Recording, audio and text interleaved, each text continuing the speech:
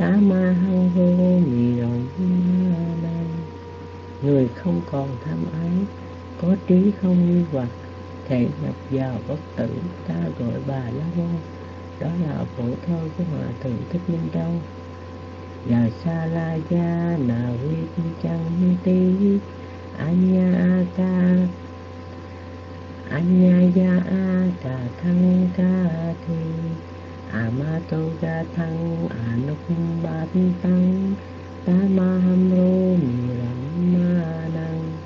Người mà tha mái tiêu dông Do nhờ trí tuệ trọn lòng hoài nghi Thể nhập bất tỉnh vô vi Như Lai sẽ gọi đúng gì và la môn Đó là khổ sâu của Hòa Thượng Như Đức Dạ, con đã kể xong rồi. Cảm ơn Ratana đã bắt bài.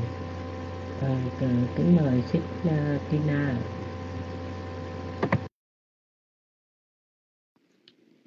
Con kính đảnh lễ ba ngôi tam bảo con kính đảnh lễ à, um, thường tọa minh hạnh. Con kính đảnh lễ với cô tư nữ con kính chào đạo tràng con xin phép được uh, đọc bài.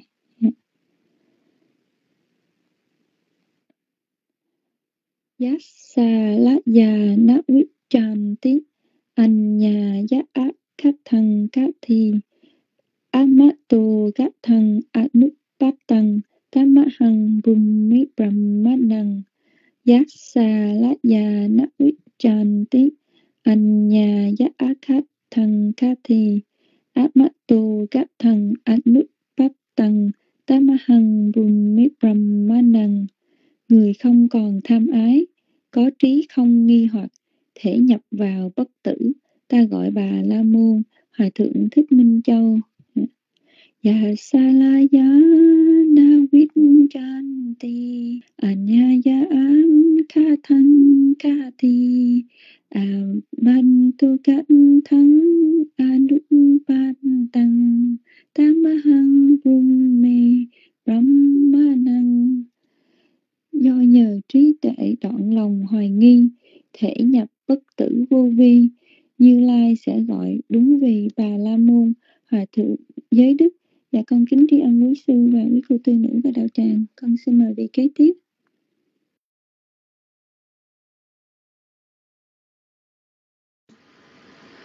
Dạ sa thú Sitina Nam mô Bích Thà Giá, Nam mô Thầm Mời Giá, Nam mô Sang Kha Giá Con kính đảnh lễ ân đức chư Phật, Kính đảnh lễ ân đức giáo Pháp kính đảnh lễ ân đức chư tăng.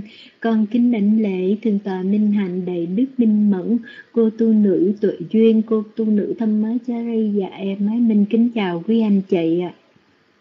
Con xin phép được trả bài câu pháp cú số 411 cảm ơn huynh trưởng.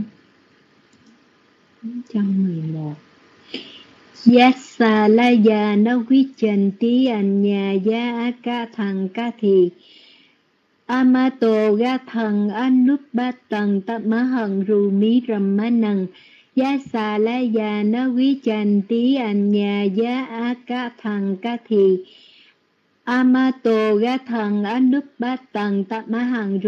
Ramanang Yasa la ya na vi chan tí. Anya ca thăng ca thi Amato à ma tô ga thằng a ba tăng. Ta mang ru mi râm ma năng người không còn tham ái, có trí không nghi hoặc. Thể nhập vào bất tử, ta gọi ba môn bản dịch của hai thượng minh châu. Cha sa la ya na vi chân ti anh ya ca thằng ca thị amato ga thằng anupa tăng ta ma hằng ru mi ram ma nằng giá sa la ya nó quý chành tí anh nhà ya ca thằng ca thị amato ga thằng anupa tăng ta ma hằng ru mi ram ma nằng người mà tham ái tiêu vong, do nhờ trí tuệ đoạn lòng hoài nghi, thể nhập bất tử vô vi, như lai sẽ gọi đúng vì bạch âm môn phổ thơ của hòa thượng giới đức. Dạ. Kính mời huynh trưởng tiếp theo ạ. À. sa thu sa thu lần thầy sư đại mình nam mô phật thaya nam mô tham ma nam mô sẵn kha giá, kính đảnh lễ ba ngôi tam bảo đức phật. Giáo pháp và chư tăng kính đại lễ chư đại đức tăng trong đạo tràng kính chào quý tu nữ cùng toàn thể các quý đạo hữu trong room cả con xin được kể kinh pháp cú số 411 à, cảm ơn xin rạng đồng xin đại mình xin thẩm nhật cho biết xin đại nhật huỳnh cho quyền cô tu nữ tử duyên cho biết là nghe rõ. Yat sa la ya na vi chanti anyaya akathang kati มาโตกะทังอนุปัตัง ตามหังพรุมีพระมานัง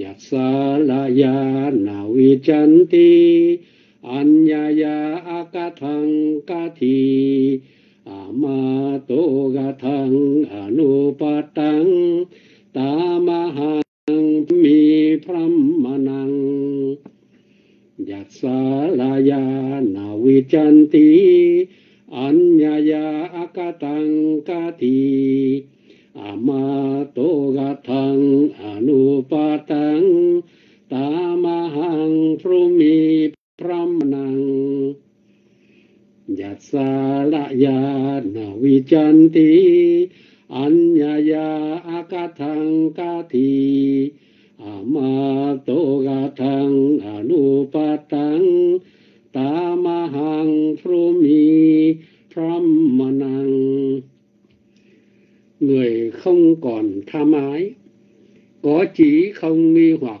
thể nhập vào bất tử ta gọi bà la môn. Bản dịch của ngài minh châu. Người mà tham ái tiêu vong do nhờ trí tuệ đoạn lòng hoài nghi, thể nhập bất tử vô vi như lai sẽ gọi đúng vì bà la môn bản phổ thừa của ngài sĩ đức. Dạ nam mô phúc tha dạ con xin được xuống mic. Dạ, không thấy bàn tay của ai. Hết na xin được cho xích nhật Huỳnh nhá. Kính mời xích nhật Huỳnh.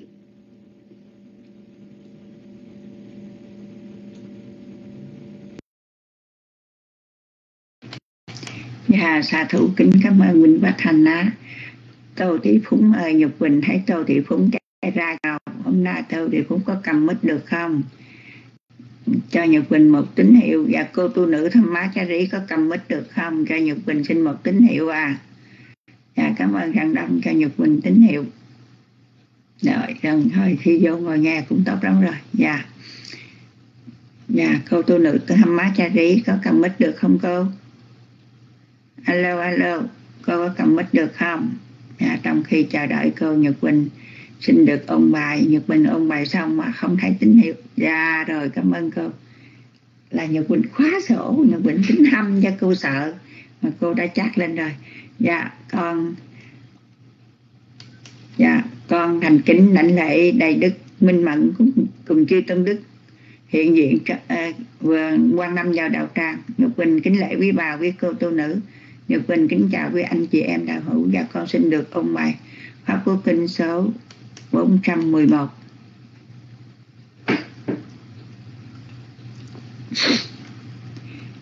Yasa Laya Nawit Chanti Anya Akathang Kathe Amato Gathang Anupatang Tamahang Su Misam Manang Yasa Laya Nawit chanti anya akathang kathe amato gathang nấp bát tăng tamahang su mì râm ma năng dạ mình chào cảm ơn vô vào đạo tràng. Cảm ơn ơi, có ông bài được không? Cho nhật bình một tín hiệu nha. Người không còn tham ái có trí không nghi hoặc, thể nhập vào bất tử, ta gọi bà la môn. Dạ cảm ơn bằng tay cảm ơn và sa la ya na quyết chan ti cha. Anh nha ya a ca thằng ca thi a ma tô ga thăng a nập ban tăng ta ma hăng su mi ram ma năng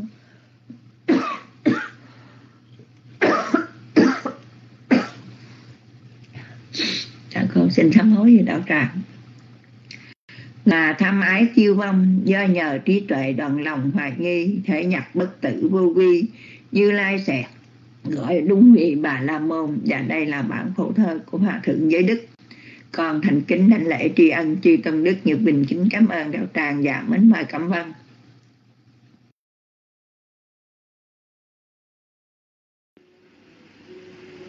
Dạ Nam Mô Bút Tha Giá Nam Mô Tham Ma Giá Nam Mô Sanh Kha Giá con kính lãnh lễ Đức Phật, Con kính lãnh lễ Giáo Pháp, Con kính lãnh lễ Đức Tăng. Con kính lãnh lễ Thượng Tọa Minh Hạnh, Đại Đức Minh Mẫn cùng chư Tôn Đức. Kính chào quý cô tu nữ cùng quý đạo hữu trong room Con xin ôn bài câu pháp cú số 411 Giác xà lá già ná. Quyết chàm tí. Thanh nhà giá á cá thằng cá thi á má tô giá thằng á núp bát tăng tám hằng rù mỹ rầm má năng giác xà lá già ná quyết chan quyết chan trí thanh nhà giá á cá thằng cá thi á má tô giá thằng á núp bát tăng tá ma hằng rù mỹ lầm má năng giác xà lá già ná quyết chan tí, anh nhà giá á cá thăng, cá thi, á má tô, giá thăng, á núp bát tăng. Tá ma hằng rù mỹ rầm má năng người không còn tham ái, có trí không nghi hoặc thể nhập vào bất tử, ta gọi bà la môn bản dịch và thượng minh châu. Người mà tham ái tiêu dâm do nhờ trí tuệ đoạn lòng hoài nghi, thể nhập bất tử vô vi, như lai sẽ gọi đúng vì bà la môn, bản phổ thư của hòa thượng giới đức. Và cấm dân đã ôm bài xong và mến mời bạn trai kế tiếp.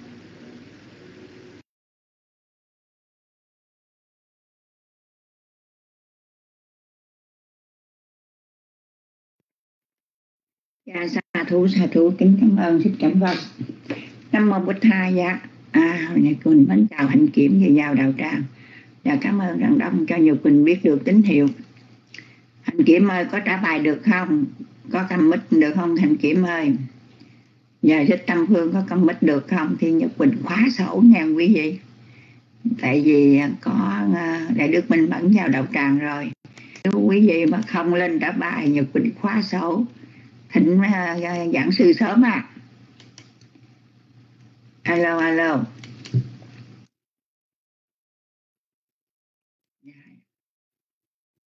Hãy tín hiệu.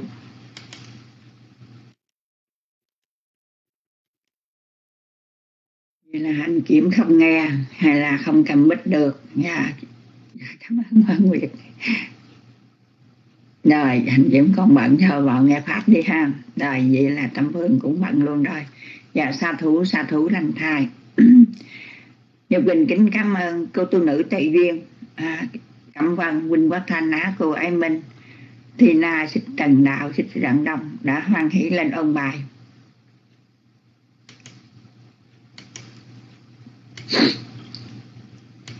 Dạ bây giờ thì đồng hồ con cũng còn sớm có một phút thôi. Dạ con xin thay mặt đầu tràng cung thỉnh à, con xin thỉnh à, pháp sư và thầy thầy Đức Minh Mẫn có hoan hỷ không ạ? À? Cho con một tín hiệu sư có ở trước máy chưa, bà sư? Dạ nếu cho phép thì con xin à, thỉnh pháp sư à. Năm mô Bích Hài dạ. Dạ cũng tay giao rồi, thở con thỉnh pháp sư trong khi chờ đợi sư trở lại, á, xa thú con tri ân sư. Nhật quỳnh kính mời đạo tràng cùng với nhật quỳnh lắng tâm thanh tịnh cung thỉnh pháp sư. Xin à, để đạo tràng chúng ta được, để đức minh mẫn nhận dạy bài học ngày hôm nay. Câu pháp cứu kinh số 412 học từ vựng nguyên sự và ý nghĩa của câu pháp cứu kinh này. Nam mô bích hà giá, nam mô tham ma giá, nam mô sang kha giá. Nam mô ta sa bhagavato arahato samma sa Nam mô ta sa bhagavato arahato Samma sa Nam mô ta Tassa Bhagavato Arahato Samma sa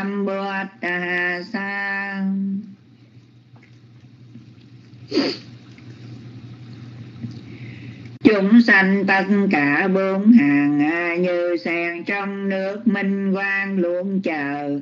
Trời lỗ mọc đặng nhờ ánh sáng trổ hoa, lành đại tạng mùi hương. Pháp màu ánh sáng phi thường chiếu khắp ba cõi rõ đường an vui. Tam thiên vận ngậm ngùi khẩn khoản Phật nhận lời nhưng chẳng dị hơi biết lòng mở đạo dạy đời a nhâm vương lộc gia, ngài dời chân sang.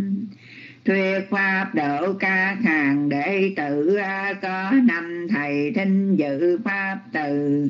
Đó là nhóm kiều trần như được nếm hương vị hữu dư niết bàn rồi từ đó mở mang giáo pháp ma bốn mươi lăm hạ giáp vẹn toàn. Một lòng chẳng thối không mòn, ai những điều lợi ích hằng còn lâu năm.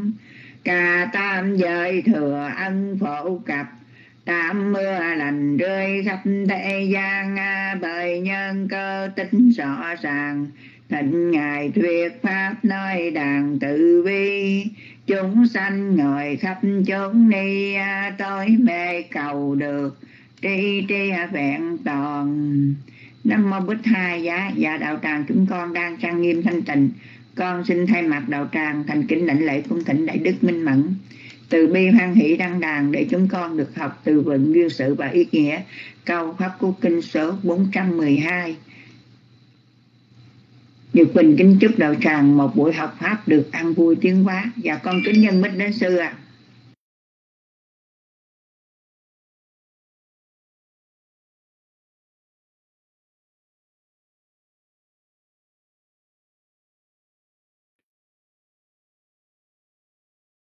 Dạ, sa thú sa thú lành thai kính riêng xích Nhật Quỳnh.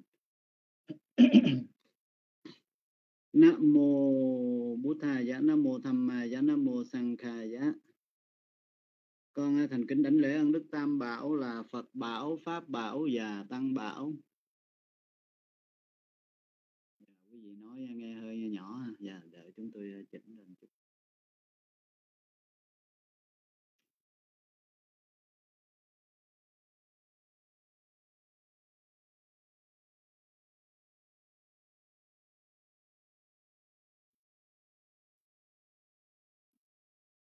À, thành kính à, đảnh lễ thượng tọa Minh Hạnh.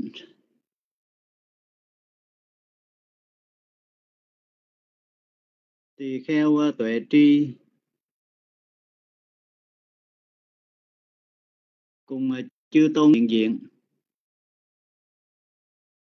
Kính chào quý bà, quý cô tu nữ, thân chào và chư Phật tử. À, hôm nay chúng ta học đến câu kệ Pháp Cú số uh, 412. 412 Chúng tôi xin được đọc qua câu kệ này hai lần, rồi sau đó chúng ta cùng nhau bước vào phần tìm hiểu ý nghĩa từ vựng và việc dịch văn xuôi. Đoạn 1 của câu kệ. Vô tha punyan cha pa pancha Vô tha punyan cha pa pancha Đoạn thứ hai. Ufo Sangha Ufo Sangha Mupachaga Ufo Sangha Mupachaga Đoạn thứ ba. Aso Virachang Sút Thăng. Aso Căng Virachang Sút Thăng. Đoạn thứ tư.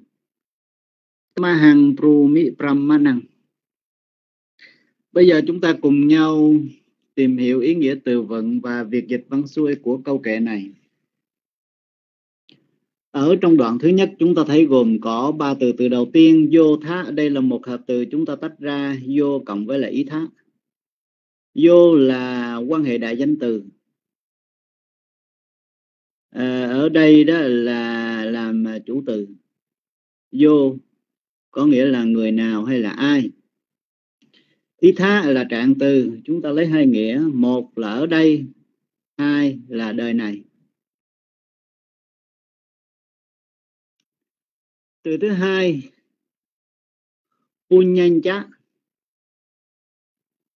à, nếu mà phải tách thì chúng ta sẽ tách ra là punyan cộng với là chá à, punyan ở đây đó đồng nghĩa với cái từ à, kusala à, thành ra nếu mà punyan này mình dịch là phước. À, thì chữ pa pancha ở đằng sau đó mình dịch là tội. Hai từ này đối nghĩa lại với nhau. Còn nếu mà nhân này mình dịch đó là thiện à, thì cái từ pa băng ở đằng sau đó mình dịch là ác à, hay là bất thiện.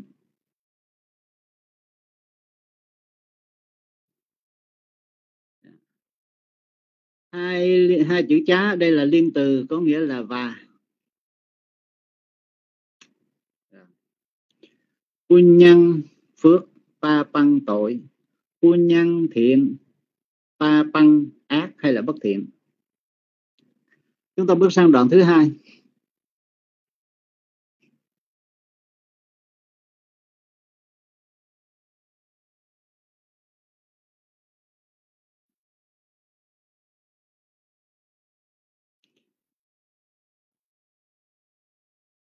Đoạn thứ hai này chúng ta thấy gồm có hai từ từ đầu tiên u à, có nghĩa là cả hai both tiếng Anh.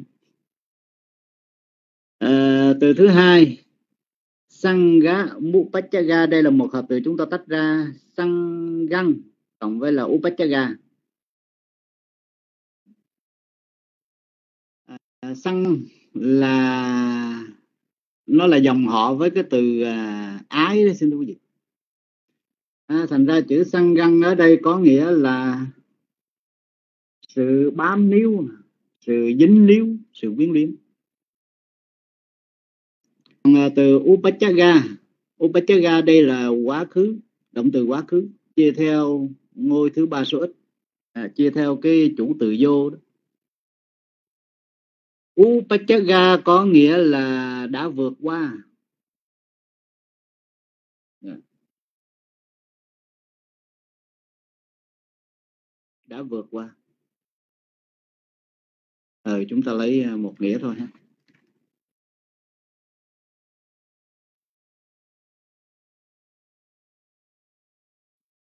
À, ngài hòa thượng minh châu ngày dịch đó là không có nhiễm. À.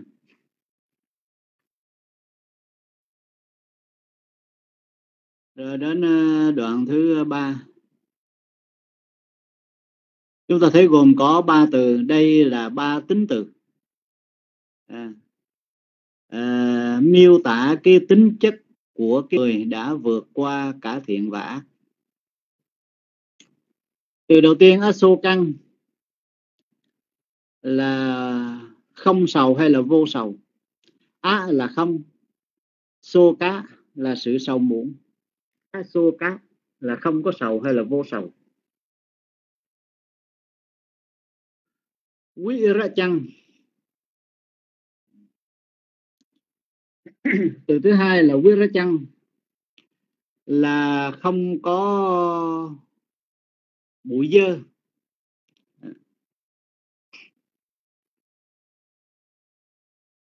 À, không có dơ bẩn. À, chữ quý quý ở đây đó à, có nghĩa đó là ra khỏi hay là không còn hay là lìa đi. À, ra chá đó là bụi dơ hay là sự dơ bẩn. Không có bụi dơ. Quý quý quý quý ra chăng. Ngài hòa thượng minh châu ngày dịch là không có bụi. Từ thứ ba xuất thăng. À, xuất thá đó là danh từ nam tính mà xuất thí đó là danh từ nữ tính. Nhưng mà cái chữ xuất thá ở đây đó chúng ta hiểu đó là tính từ. Hồi nãy chúng tôi nói với quý vị cả ba từ này đều là tính từ à, miêu tả cho cái tính chất của người đã vượt qua được cả thiện lẫn ác. À, thành ra cái chữ xuất thân ở đây đó mình à, dịch theo nghĩa tính từ là sạch sẽ nè trong sạch thanh tịnh.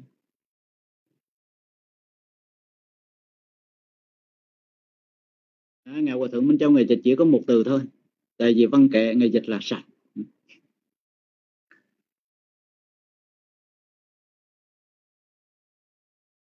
Đoạn ờ, thứ tư thì đã rất là quen thuộc đối với ờ, bà con ờ, chư phật tử chúng ta rồi. Thành ra đoạn đó chúng tôi không có lấy nghĩa nữa. Bây giờ chúng ta cùng nhau dịch văn xuôi.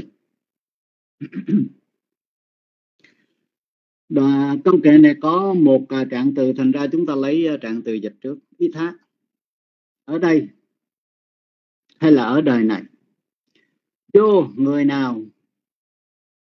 Sangamupachaga đã vượt qua hay là đã từ bỏ cũng được. À, sự quyến luyến. Ufo cả hai. Punyan chá pa pan chá.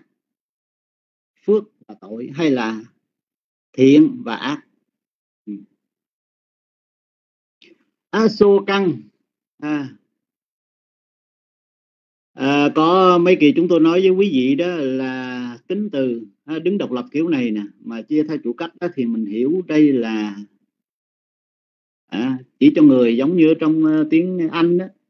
À, tính từ thêm cái mạo từ xác định ở trước đó. À, cái mình dịch ra là người.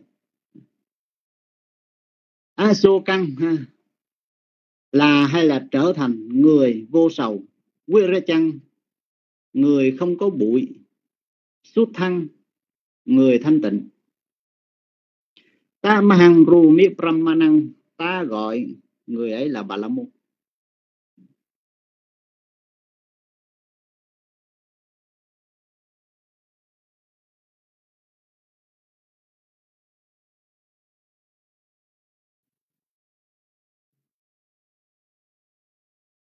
Rồi đó là toàn bộ ý nghĩa từ vựng và việc dịch văn xuôi của câu kệ Pháp Cú số 412. Tiếp theo chúng con à, thành kính cung thỉnh chư tôn đức.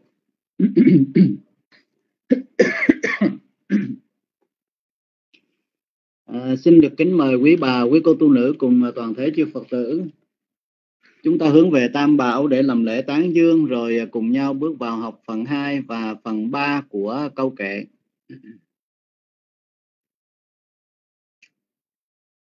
Arahang Samma Sambuddho Phakawa Buddhang Phakawantang Afiwademi Swakato Phakawata Thammo Thammang Namasami Supatipanno Phakawato Sawaka Sangko Sangkang Namami Namaturatana Teyasa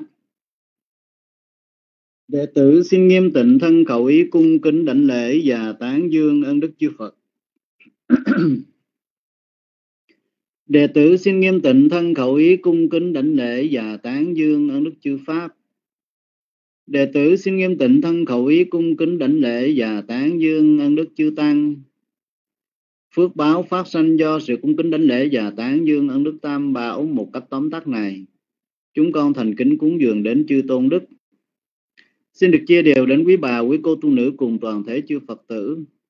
Nguyện cầu phước báo và chư thiên hộ trì quý ngài cùng quý vị được thân tâm mang lạc trong suốt thời gian sinh hoạt Phật Pháp tại Râm Pháp Cú Kinh Nam Mô Bổn Sư Thích Ca Mâu Ni Phật. Kính Bạch Chư Tăng, kính thưa quý vị, hôm nay chúng ta học đến câu kệ Pháp Cú số 412. Câu kệ này nằm trong phẩm Ramana Quát Gá, phẩm Bà La Môn, được Đức Thế Tôn thuyết giảng khi Ngài ngự tại Chê Tá Quán Há đề cập đến trưởng lão Rê Quá Tá.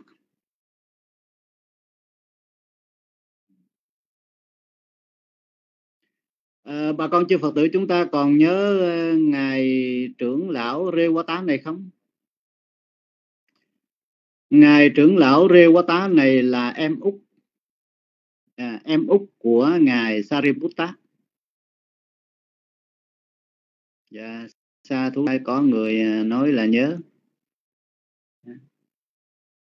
À, ngài rê quá tá này đó sinh ra trong một uh, gia đình à, bà la môn thuần túy. À, gồm có tất cả đó là uh, bao nhiêu anh chị em quý vị nhớ không?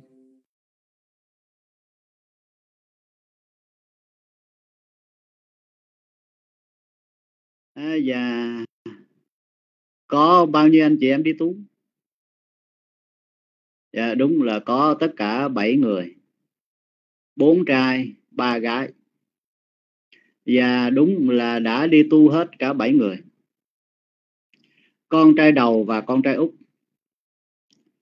À, con trai út là cậu thanh niên rêu quá tá. Vì rằng à, có tất cả bảy người con à, nhưng mà sáu người con đầu đó đã bỏ đi tu hết rồi.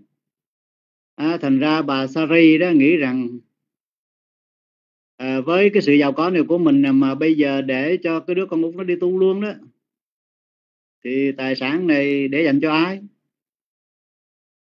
À, và sợ à, cậu con trai út này cũng sẽ đi tu. Nên chi mới có 7 tuổi thôi à, thì bà Sari tức là mẹ của cậu thanh niên rêu tá này.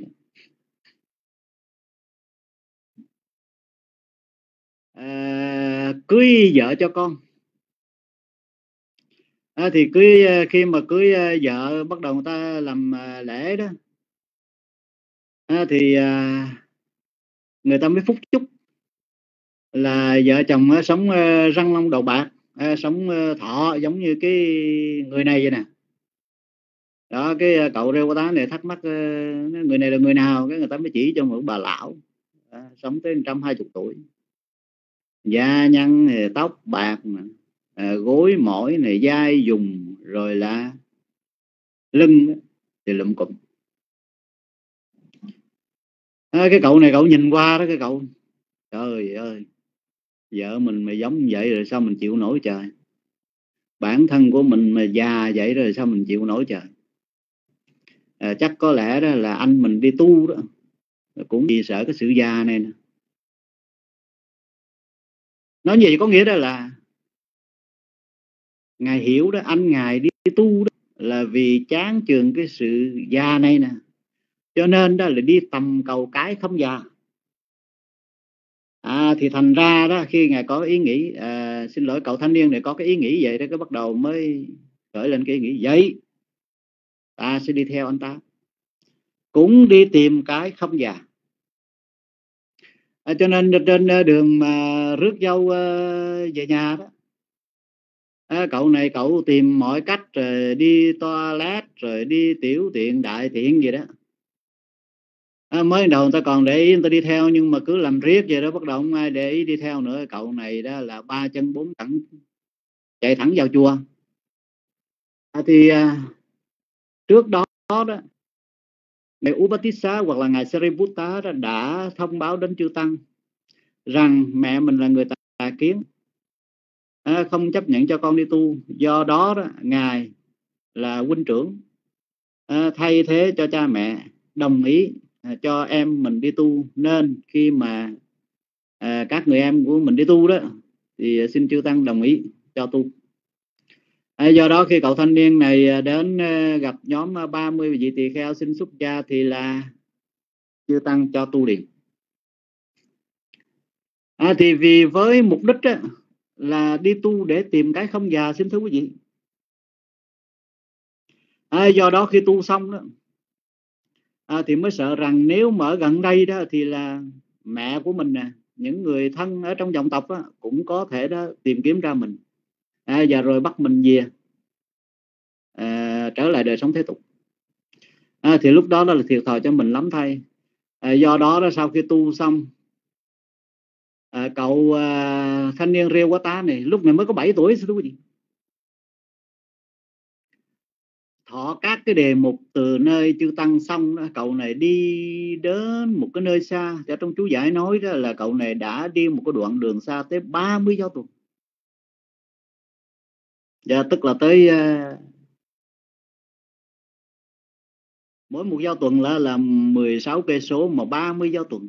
Như vậy là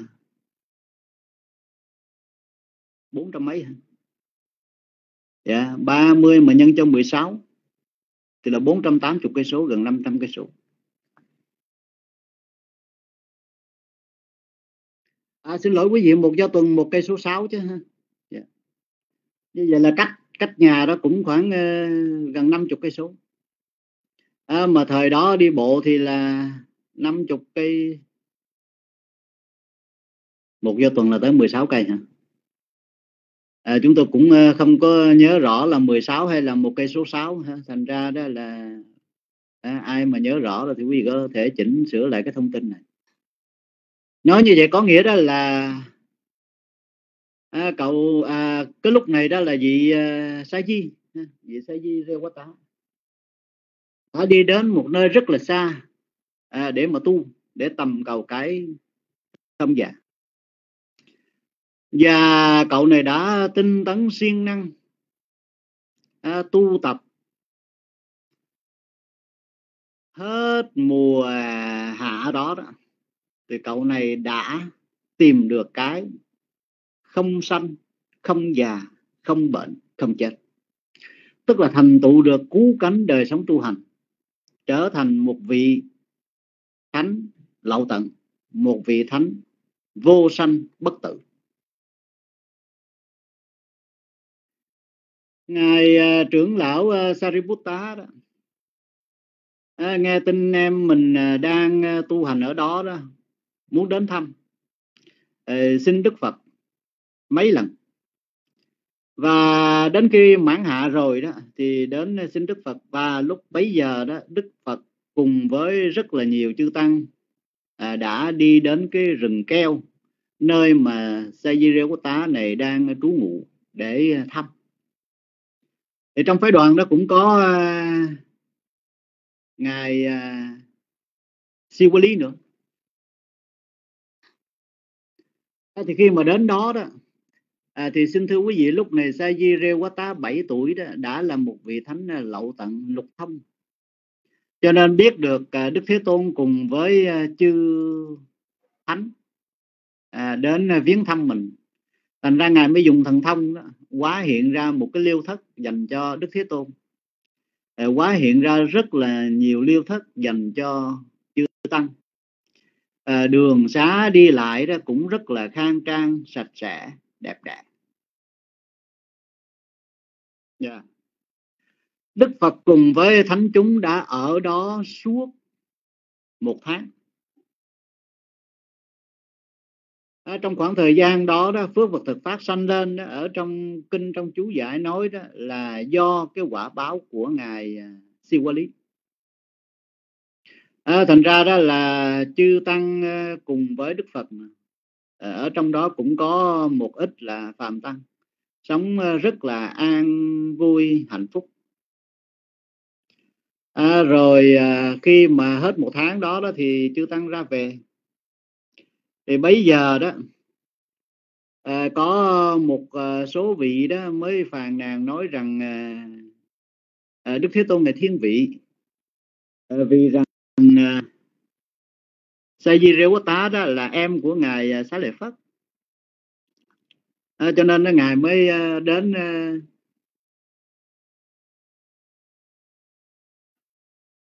thăm năm vậy ừ à, và khi mà Đức Phật à, cùng với thánh chúng đến vậy đó à, thì ngài rêu qua tá đó là chỉ lo cái việc kiến tạo à, cốc liêu nè, rồi làm mặt bằng rồi cho sạch sẽ vậy đó thì thời gian đó mà tu. Vậy có nghĩa đó là Đức Thế Tôn ngài thiên vị rồi. Để tế độ cho các cái vị phạm tăng này thành ra đức thế tôn ngài dùng thần tông làm cho trước khi ra về đó các vị này quên đi một số đồ. Thì có hai vị đã quên à, thì thành ra khi mà ra khỏi khu rừng đó hai vị này mới quay trở lại. À, thì lúc bấy giờ đó ngài rêu qua ta đã xả thần thông. Thành ra đó cái rừng keo bây giờ trở về lại thành rừng keo. À, cây keo đó thì là gai góc rất là nhiều. Thì các vị này đó đi tìm đồ của mình đó đồ của mình máng ở trên cái cây keo đó. do gai góc vậy đó cái thành ra đó là bị đâm vô tay vô chân. À, rất là khó chịu. Thì trở về đến ờ, uh, Paparama tức là đến uh, chùa của bà Wisakha đó, thì bà Wisakha còn hỏi hai vị này đó cái, cái chỗ uh, tỳ kheo rêu quá tá như thế nào? À, thì bà à, hai vị này mới trả lời đó là cái rừng keo. À, toàn là gai góc không mà khan lắm. À, không có cái chi là nói theo kiểu đời đó là đáng ở đáng sống cả à, nhưng mà rồi bà Wisaka lại hỏi các cái vị khác đó thì các cái vị khác lúc đó, đó là thấy cái quan cảnh qua thần thông của ngài Rewata cho nên đó là đẹp đẽ vô cùng à, thì mới tán thán hết lại dạ, tán thán hết lại à, ờ, nhưng một lần à, bà Wisaka thỉnh Phật cùng với thánh chúng đến để trai tăng Đức Phật à, bà Wisaka mới hỏi Đức Phật tại sao không có hiện tượng vậy? À, thì Đức Thế Tôn ngài mới thuyết là một cái câu kệ ở trong phẩm ờ, uh, A La Hán đó xin quý vị. Là La Hán trú ở chỗ nào đó thì chỗ đó nó đẹp đẽ vô cùng. À, rồi sau đó đó. À, sau đó đó. Cái uh, các vị tỳ kheo đó mới cùng nhau bàn tán xôn xao rằng thật là kỳ diệu thay. Một uh, sa di mới có 7 tuổi. À, có cái lợi đắc to lớn như thế. Rồi à, một vị đó ha mà có thể kiến tạo tới 500 à, ngôi tịnh thất cho 500 vị tỳ kheo được như vậy đó. Thì kỳ diệu quá vi diệu quá thì nghe chư tăng ờ, thảo luận bàn tán về cái quy lực của Sajirewata vậy đó Đức Thế Tôn ngài đến ngài mới hỏi này các tỳ kheo các ngươi đang thảo luận chuyện gì đó? Ờ, chư tỳ kheo mới trình bày lại là mình đang ờ, thảo luận về ờ, ngài Rewata lúc đó Đức Thế Tôn ngài mới dạy ngài nói này chư tỳ kheo thiện hay ác con như lai chẳng còn nữa đâu à, cả hai thiện ác ấy đó con như lai đã thoát ly rồi. Dạy như vậy xong đức thế tôn ngài mới thuyết lên câu kệ. Vô tha punyan cha pa pang cha upo sangang upachaga aso kang vara chang sút thăng. Tamahang prumi brahmanang câu kệ này được ngài hòa thượng thích minh châu dịch kệ thơ năm chữ.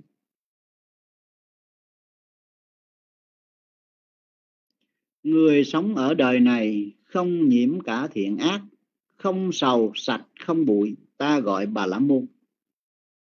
Ngài Hòa Thượng Giới Đức thì dịch là người đã vượt thoát hai điều, cả thiện và ác, tiêu diêu cõi ngoài, không bụi bặm, chẳng sầu ai.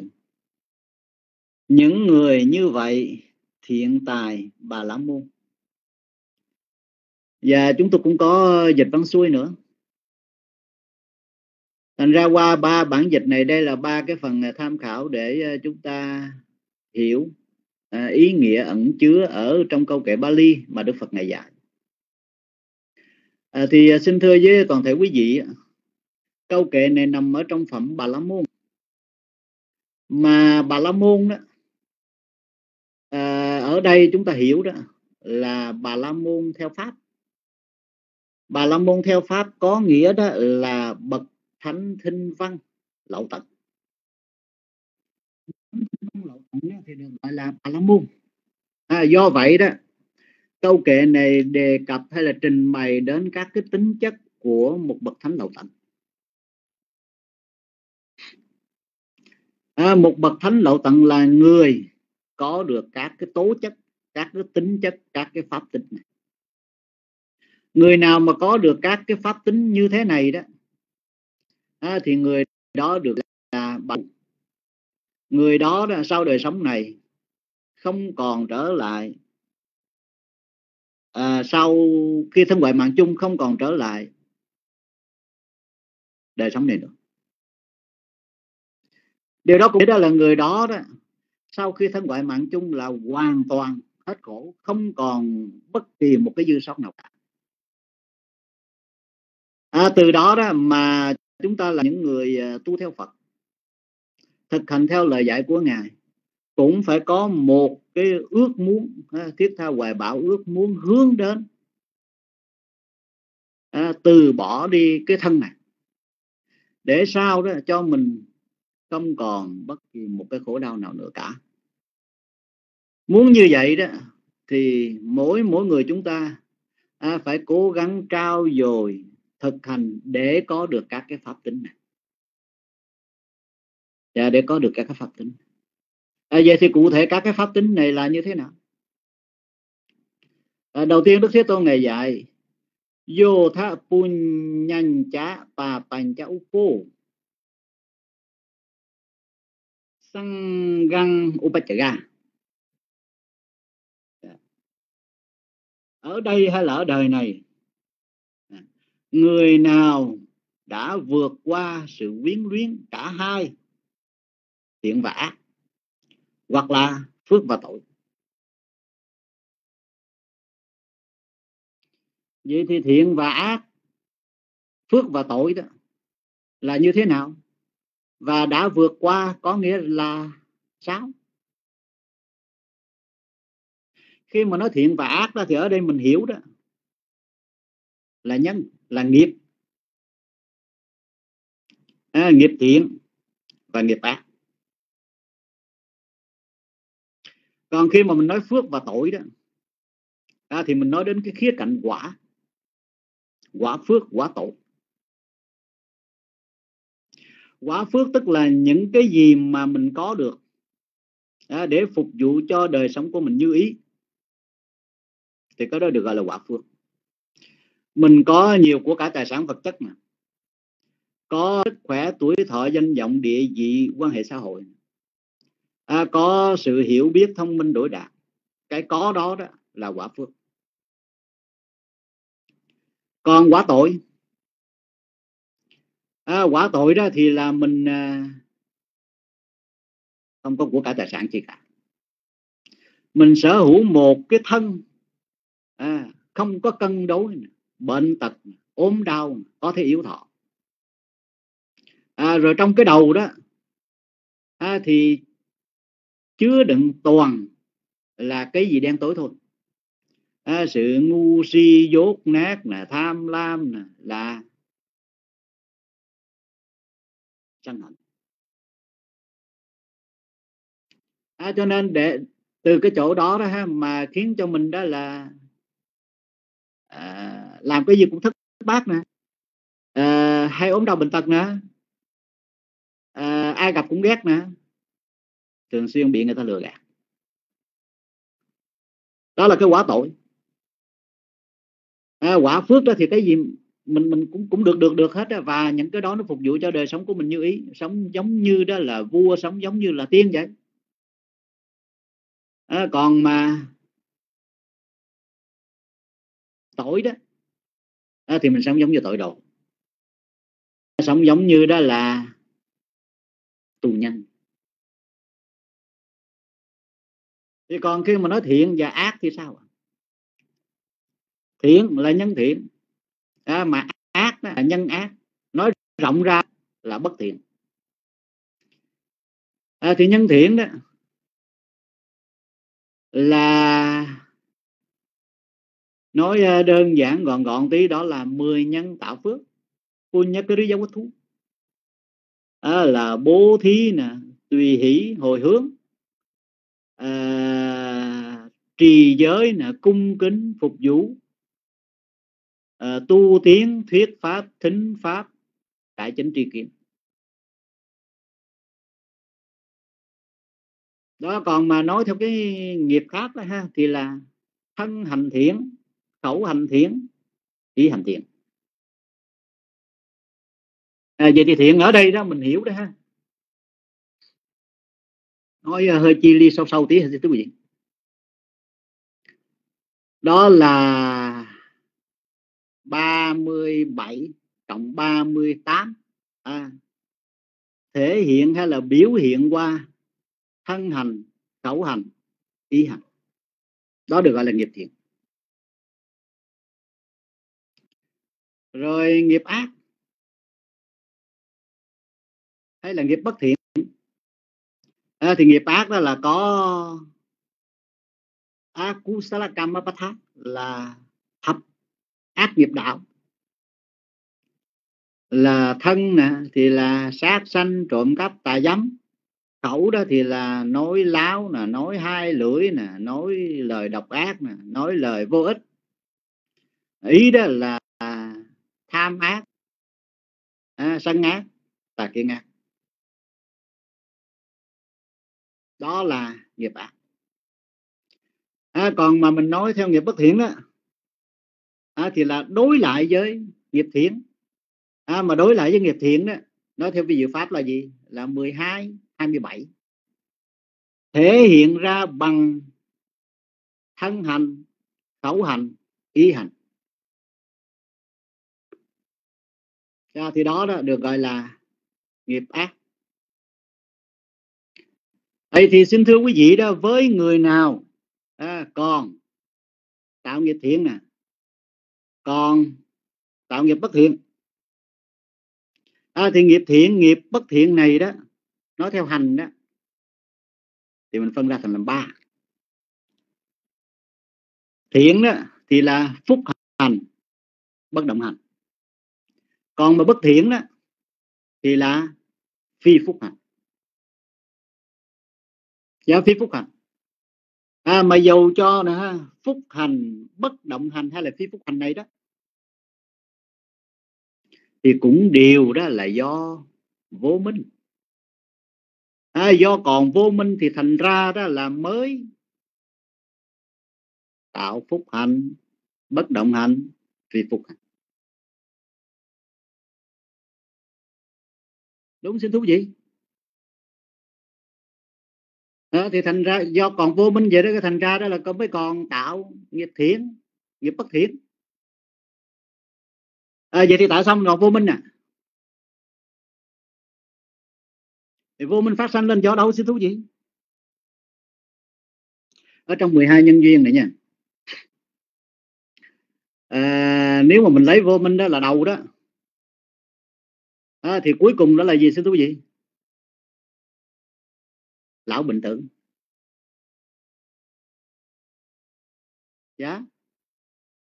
À, vô minh duyên hành nè hành duyên thức nè vô minh nè duyên hành nè hành duyên thức nè thức duyên danh sắc nè danh sắc duyên lục nhập nè lục nhập duyên xúc nè xúc duyên thọ nè thọ duyên ái nè ái duyên thủ nè thủ duyên hữu nè hữu duyên sanh nè sanh duyên lão tử dạ sanh duyên lão tử. Đó là 12 à, nhưng mà rồi đó 12 này nè nó đi vòng vòng vòng vòng vòng vòng. Nó không có à, một cái điểm dừng. À, thì thành ra là lão tử này mới duyên lại cho vô minh. Dạ, Và lưu duyên lại cho vô minh. Điều đó có nghĩa rằng với những ai mà còn đi tầm cầu cái sanh cái già cái chết. Tức là còn thích thú còn đắm đuối còn ham mê ở trong cái sanh già bệnh chết. Tức là còn tồn tại đó xin thú vị còn tồn tại trong ở cái hình thức nào? Là phạm thiên này, là tiên này, hay là người?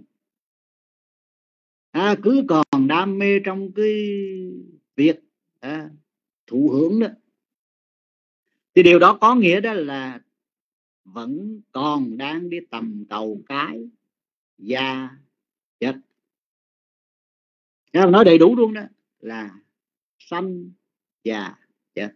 Và dĩ nhiên trong quá trình sanh già chết thì có bệnh. Dạ có bệnh. À, thì thành ra ở đây đó là ai mà từ bỏ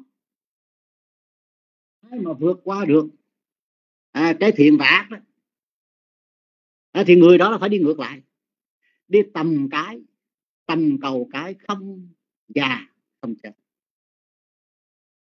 À, thì dĩ nhiên người người ha, mà có thể đi tầm cầu cái không già không chết đó,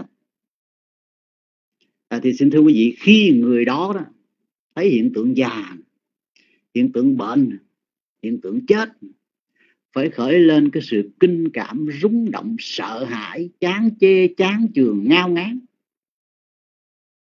Dạ ngao ngán đó. Thì lúc đó đó mới đi tầm cầu cái. Không già không bệnh không chết. Và những người vậy đó thì là những bậc đại trí. Túc duyên đã đầy đủ. À, chúng ta thấy như à, bồ tát sĩ đạt ta nè khi thấy bốn cái hiện tượng đó, sanh già bệnh chết à, thì ngài lên khởi lên sự sợ hãi liền. Chết rồi vậy mai mốt mình cũng vậy thì ôi thôi rồi. Còn gì là cái cuộc đời nữa? À, như là ngày giác xá này cũng vậy giờ tới đó vì Siberia quá tá này cũng thế. À, thấy bà lão kia đó người ta nói à, ta chúc cho vợ của mình đó là răng long đầu bảo ờ, đầu bạc sống trường thọ giống như bà này. Nhìn qua thấy cái bà lão đó là răng rụng tóc bạc da nhăn người đồi mồi không lân cọm thấy vậy là ngao ngán chán trường quá. À, có bắt đầu là liên tưởng tới bản thân của mình nếu của mình vậy thì là mình cũng sẽ vậy thôi. Khởi lên sự kinh cảm sợ hãi đi tầm cầu cái. Không già. Dạ thì đi, đi tầm cầu cái không già. Là như thế nào? À, tại sao có sanh ra xin thưa quý vị? Xin hỏi quý vị nè ha. Cái già nè cái bệnh nè cái chết đó, có phải đó là gì do có sanh không? Có sanh ra à, thì mới dẫn đến đó là có già có bệnh có chết. Nếu mà không có sanh ra đó thì xin thưa quý vị không có bệnh không có già không có chết. Vậy thì do đâu có sanh ra? À, để để sanh ra đó cũng phải có cái điều kiện thì là mới sanh ra được chứ không phải đó đơn giản à, mà sanh ra được. Các cái hạt giống đó ha mà nảy mầm à, mà đơm qua kết trái được đó thì xin thưa quý vị các cái hạt giống đó phải còn có cái mầm à, còn có cái mầm sống thì mới đơm qua kết trái được. Còn các cái hạt giống đó mà không có mầm thì là không có đơm qua kết trái được. À, thì cái những cái nghiệp mà mình tạo đó à, thì nghiệp đó được gọi là hạt. Nghiệp đó đó à, nó thể hiện qua là thân nghiệp khẩu nghiệp và ý nghiệp. À. thì nghiệp đó đó mà đơm qua cỡ trái được tức là cho quả dị thục đó. À, thì nghiệp đó, đó phải còn có cái chất ẩm ướt. À, đây là điều kiện phù hợp hay là chất xúc tác thì cái loại hạt này là nó mới cho ra quả. Dạ nó mới cho ra quả. Thì chất ẩm ướt ở đây đó chỉ cho là tham ái. Và chỉ cho là tham ái. À, thì điều đó có nghĩa đó là khi nào mà mình không còn tham ái à, thì là thân hành khẩu hành ý hành của mình đó sẽ không có đơm qua kết trái.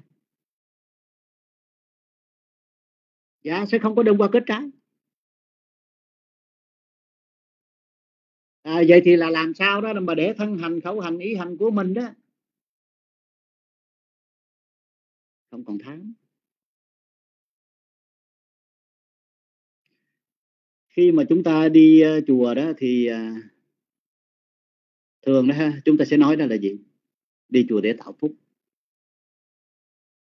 à, đi chùa để tạo phước à.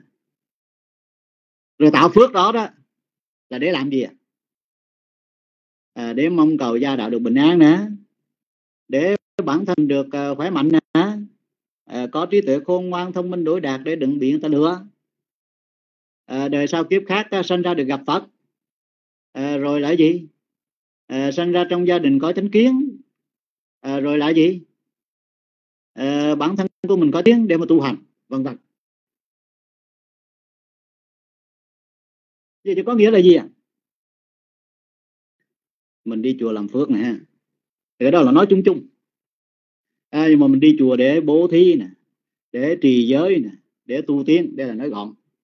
Còn nói rộng ra tí đó là mình đi chùa để tạo 10 nhân phước.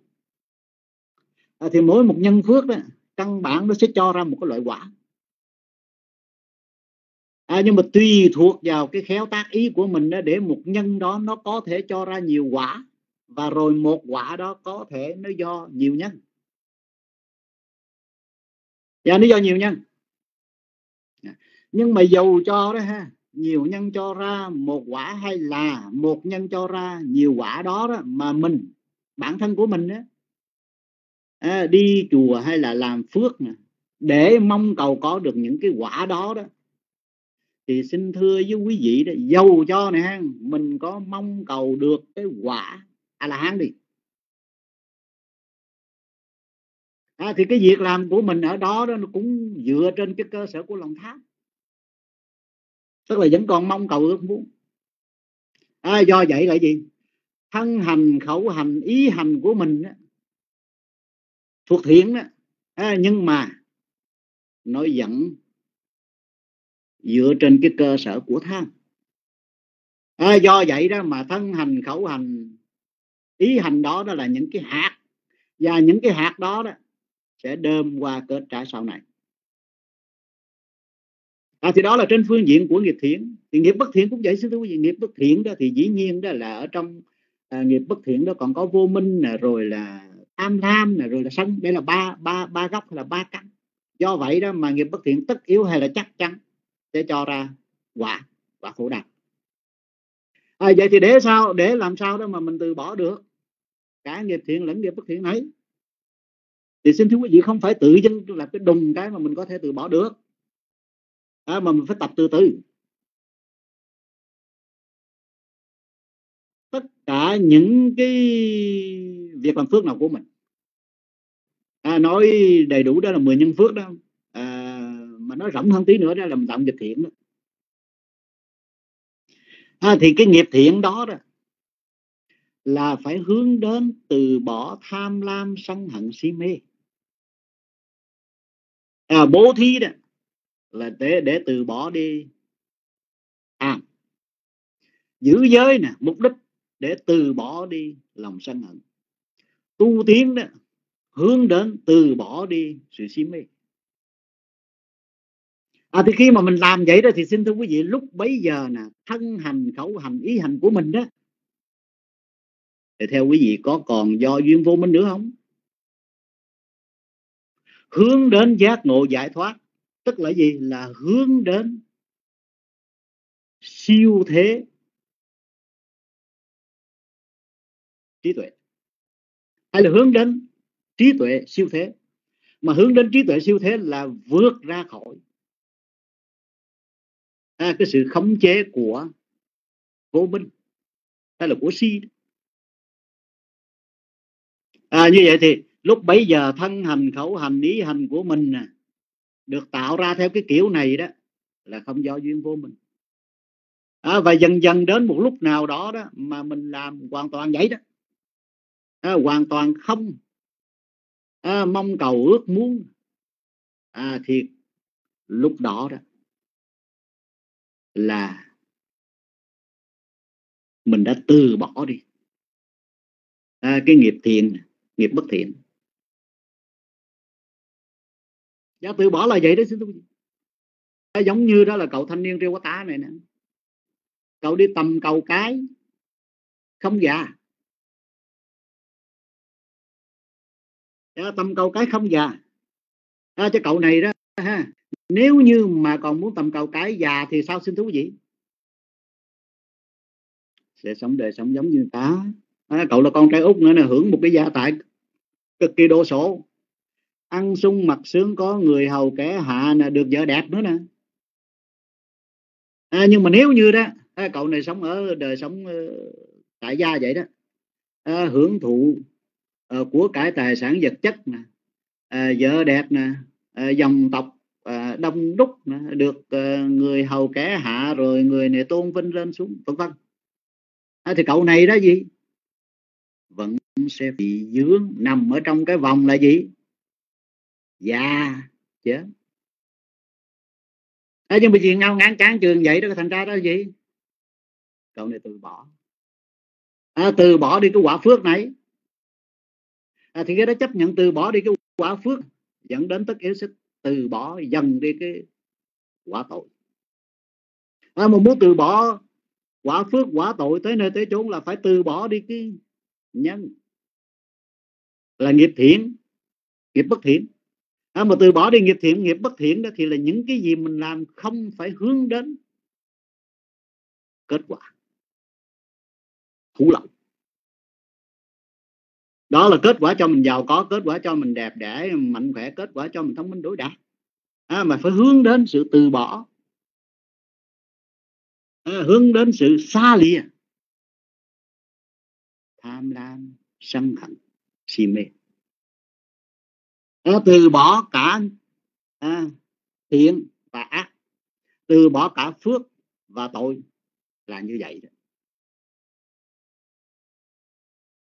À, thì khi từ bỏ được vậy thì mới trở thành người đó là không có sầu nè không có bụi nè trong sạch nè. À, thì trở thành người không có sầu là sao xin thú gì trở thành của mình mà không có dựa trên vô minh à, thì với mình hiểu nha với những ai mà không còn vô minh thì người đó đó thử hỏi bà con trước còn sân hận không? Không. À, vô sầu ở đây đó có nghĩa đó là không còn sự sân hận không còn tâm sân không còn hòa à, không còn bất kỳ một cái mảy may tí ti nào của sự sân hận nữa. Dạ, của sự sân hận nữa thì lúc đó đó mới thật sự ra đó là không còn sâu không còn buồn không còn à, lo lắng nè không còn sợ sợ sợ hãi nè.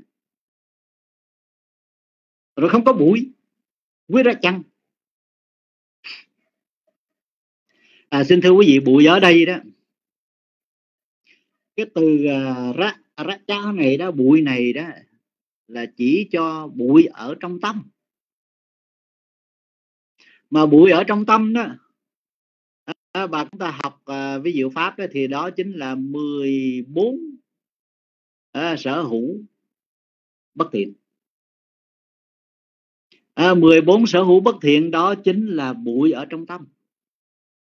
À, còn mà mình nói theo à, pháp nữa ha thì là tham lam là bụi ở trong tâm sân hận là bụi ở trong tâm si mê là bụi ở trong tâm cống cao hống hách là bụi ở trong tâm à, hiểu sai là bụi ở trong tâm ganh ghét là bụi ở trong tâm bủn xỉn là bụi ở trong với người không còn vô minh à, sở hành thân hành khẩu hành của người đó không dựa trên vô minh thì điều đó có nghĩa là gì? Ai mà không còn vô minh thì xin thưa quý vị không còn bất kỳ một loại bụi nào cả. À, không còn vô minh thì là không còn bất kỳ một sở hữu bất thiện nào nữa ở trong tâm Ờ, đến ờ, cái tính chất thứ ba là xuất thân là trong sạch hay là sạch sẽ hay là thanh tịnh?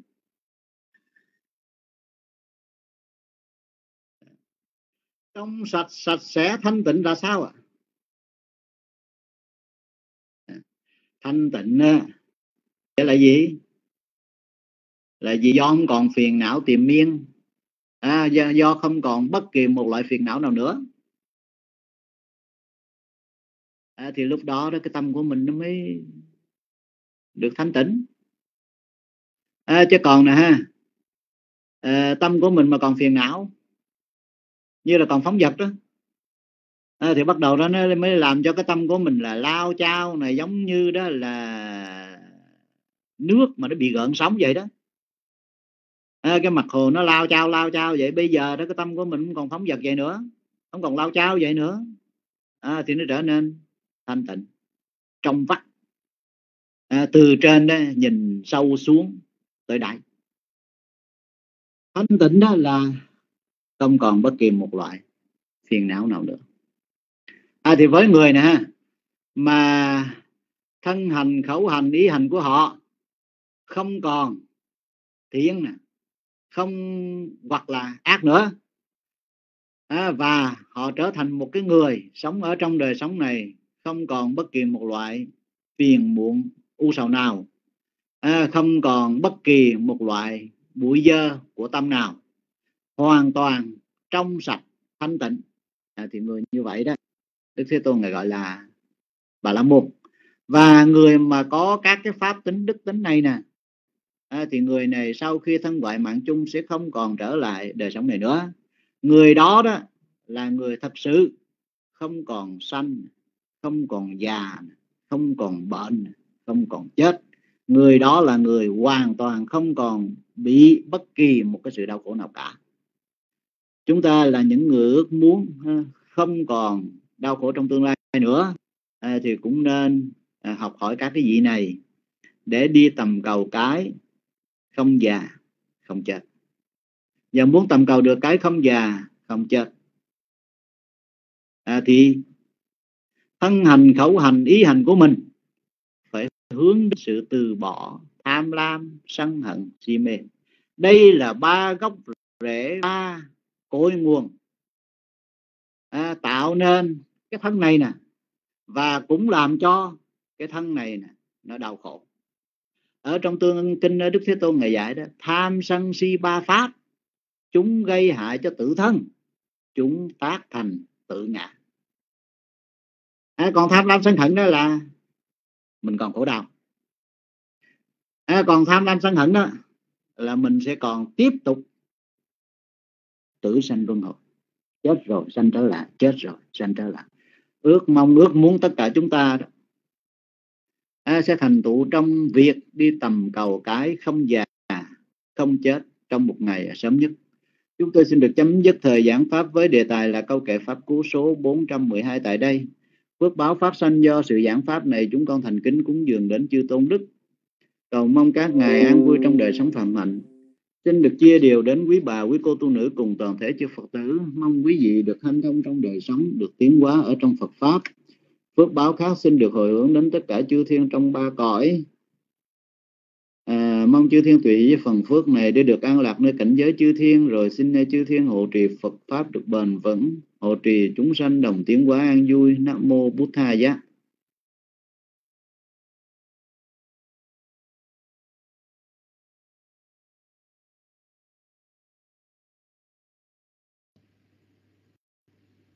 Dạ, sa thú, sa thú lành thai.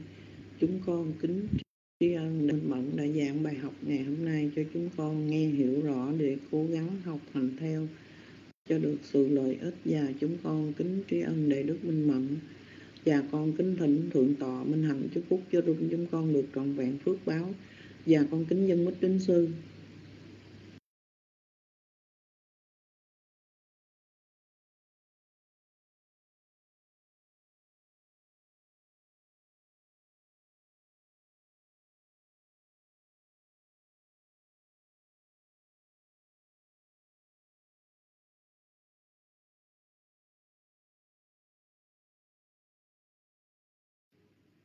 Dạ, chúng con kính thỉnh thượng tọa minh hành chúc phúc cho năm chúng con được trọn vẹn phước báo và con kính dân bích đến sư.